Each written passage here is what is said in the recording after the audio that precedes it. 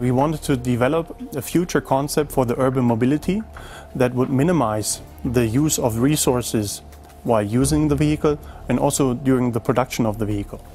If you look at the traffic in the, in the big cities, um, a lot of this traffic is due to the professional commuter. And most of the people, uh, there's just one person sitting in those cars. So we ended up with a vehicle that has an incredible aerodynamics, is lightweight, and has a unique driving experience.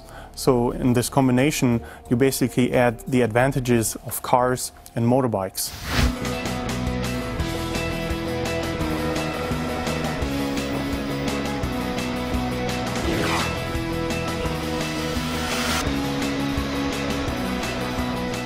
just an incredible feeling to, to sit in this vehicle.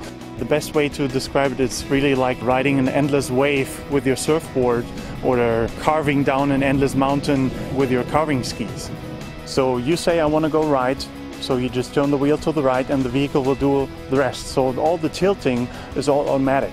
When we're talking about the aerodynamics of the simple concept, it's more efficient than any uh, series production car or motorbike out there on the road today. The Simple has the height of a 5 Series, uh, it's shorter than a Mini Cooper, and the seating comfort is comparable to a 3 Series Coupe.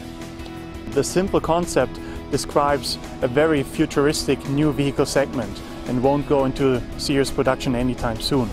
The lessons learned though of this project uh, will influence future projects at BMW.